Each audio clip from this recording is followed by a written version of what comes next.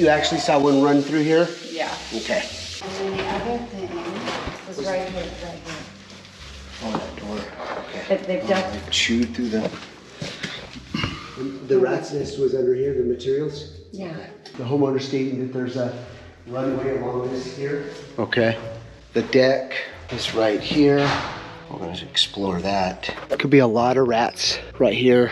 Obviously, she said that there's a lot of activity here. So one of my biggest concerns is this. How long is this door open throughout the day? Is it a couple hours? This one? Yeah, for the dog. I guess it depends on the day. It's usually closed though. It's usually closed. Okay. I just can't help but feel like you're lying. Got plenty of water source here too with these types of ponds. You can see that this is a runway here. They love nesting inside pianos. Here's a quick scene of the last rat infested piano that we did. Check it out. So they're also leaving dog food. This door's open so the rats will come in, take there. So I can almost guarantee that there's a lot of dog food underneath that kitchen. I guarantee it.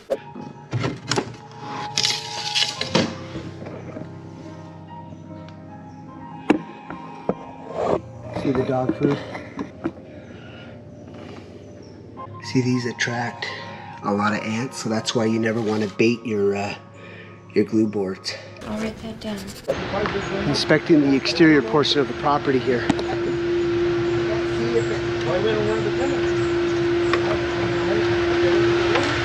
House looks pretty tight and sealed all the way on the exterior portion, so how are they getting in?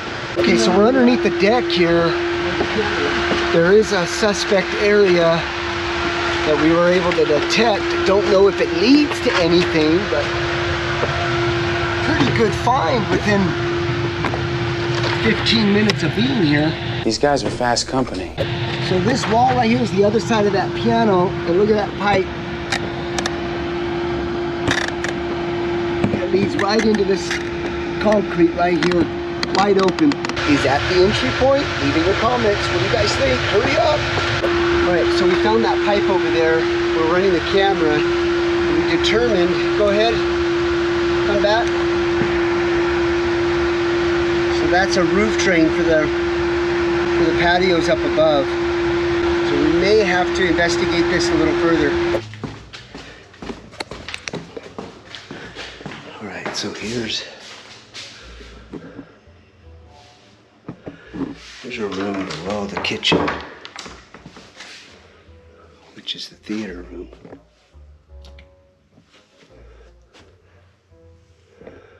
Beautiful theater room. So here's the kitchen right here, right above the theater room. So we're gonna go upstairs. You can see the light up there. That's where the roof is, so we gotta get up there, gotta get a ladder. You want me to open that?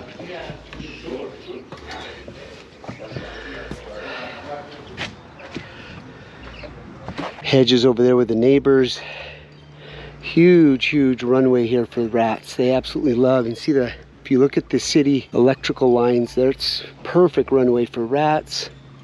And they can cross over. We did our sniff check and uh, there's a lot of spider webs in a lot of these, so there's no indication that they're sewer rats at this point. I have a feeling that that door to that kitchen with that dog food is definitely a, a concern. So Robert, the house is only two years old, correct? Three. three years exact, old. Yeah. And when did you guys start hearing the the activity? About uh, four or five months ago. Four or five months ago. Yeah, we saw one dead rat when they opened up the ceiling about a year ago uh, in the in the living room. That was like a year and something ago. Okay, Okay. so but then we didn't think of anything on until about five months ago. Got it. Yeah. Perfect. Thank you. So anytime you open up a ceiling and you find a dead rodent or there's activity, if you watched our videos, we leave that ceiling opened up until everything is completely silent and you've detected their entry point. So whoever opened that ceiling, that was a good, good strategy. But if they removed the dead rat, cleaned up the droppings, and immediately patched, that's the mistake. You were so close.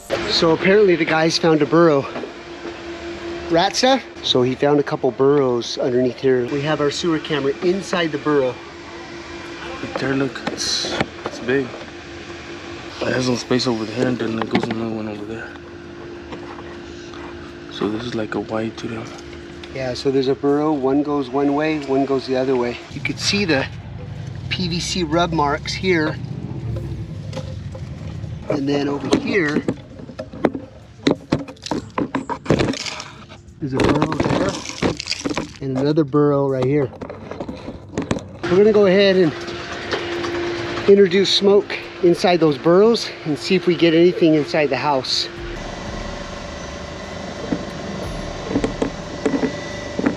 Get a ton of smoke coming out of here.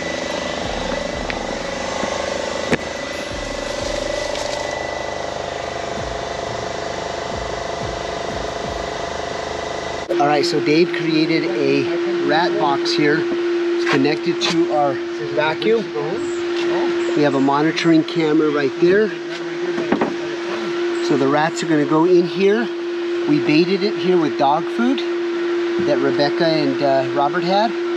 So as they come through here, sensor, it's gonna kick on the vacuum and get sucked up, hopefully, into the vacuum there. There's no way this could work.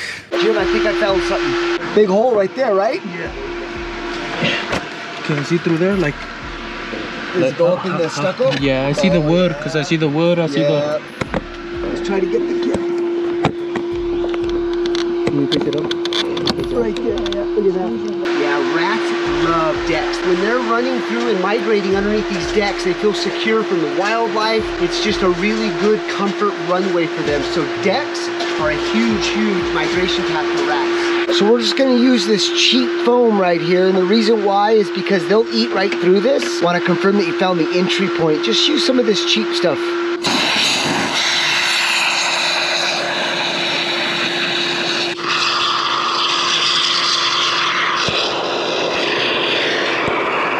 Now we're gonna put some smoke in this area drain here. These are the deck drains.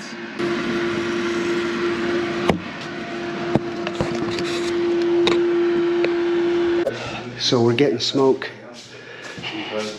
That would be amazing. Can even Getting smoke coming out of here. This puzzle is coming together because the dead rat below in the ceiling where Rebecca showed and Robert showed is right over there. And so if there's a breach, that soffit runs this way towards the kitchen. So we should not be getting smoke. As you can see, we've got all the drains capped off, but we have a breach in the system. They're in a big lawsuit with the area drain, so what they want to do is go ahead and just screen that pipe off so rats can't get back in, and then they'll deal with the breach uh, later on. The rats go in here. This is loaded up with dog food. I see, I see. So they come in here, they hit a sensor, and then it activates the vacuum, it sucks them right in. They're going there? Yes. Oh, so you eventually catch them. Oh yeah, yeah. So you come over there, this could have like one one mice or Two, three, whatever. four, yeah. And then they, they, they, they're still alive in there. Still alive, or we could put enzyme in there, but yeah, they're gonna be alive. Wow, Robert.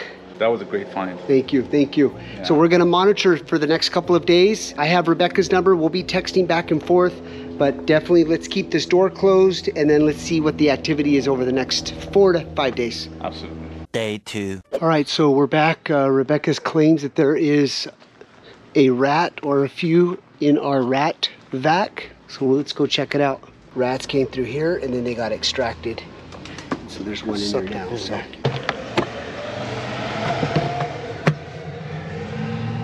Oh, a, yeah, it's a little juvenile.